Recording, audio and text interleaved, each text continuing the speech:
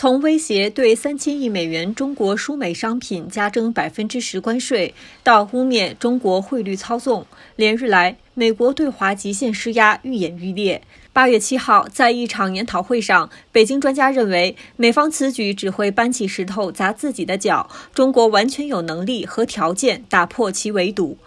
针对美方严重违背中美两国元首大阪会晤共识，再度挥舞关税大棒，中国国务院发展研究中心副主任研究员王一鸣表示，如美方启动新一轮对华加征关税，不仅将伤害美国消费者利益，拖累美国经济，还将严重冲击国际市场信心，给世界经济带来新的不确定性。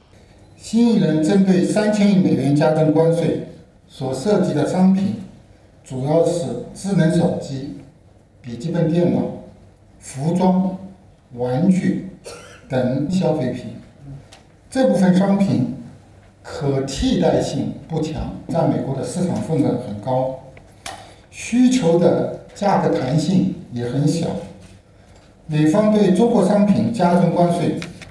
最终大部分要由美国的消费者买单。国务院发展研究中心对外经济研究部原部长、研究员赵进平称，作为全球头两号经济体和贸易大国，中美贸易往来受影响，将严重拖累全球经济增长进程。国际货币基金组织在七月十五号刚刚发布的新一轮的全球经济增长的预测，由四月份所做出的三点三的预测值呢，下调为三点二。这本身是在考虑到啊，贸易摩擦和贸易争端不断不断升级所带来的不确定性的基础上所做出的判断。美方如此步步紧逼，无非是想在中美经贸问题上搞讹诈占便宜。对于这将给中国经济带来的可能的负面影响，专家们强调，中方完全有能力应对。厚实的家底是中国经济抵御外部冲击的底气所在。中国财政科学研究院副院长、研究员白景明表示，中国改革开放四十年来经济快速发展，已经摆脱资金短缺阶段，完成了资本的原始和中期积累。我们的外汇储备现在是全球第一，全球第一。我们的国内来讲，贷款的就资金的融资渠道也比较多，资金供给相对也是充裕。全球来讲，现在呢。是一个很多国家的资本要输出，要输出，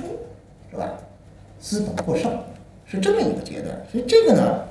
不会产生太大的。中国宏观经济研究院经济研究所副所长郭春丽指出，中国强大的内需不仅对本国经济增长形成有力支撑，也成为拉动全球经济增长重要动力。据国际货币基金组织测算，二零零九年以来，中国对全球 GDP 增量的贡献率高达百分之三十四，按购买力平价核算，则为百分之二十七点七，稳居世界第一。中国宏观经济研究院首席专家、研究员陈东奇强调，美方应当明白，其与中国在产业链、供应链、价值链乃至整个供求关系中存在很强互补性，合作共赢是两国未来发展大趋势。中国需要美国，美国更需要中国。合作共赢是互补性中美经济未来发展的大趋势，逆潮流而动。虽然可能获得一己一时之利，但会让中美双方失去共同发展、共创未来的长期机遇。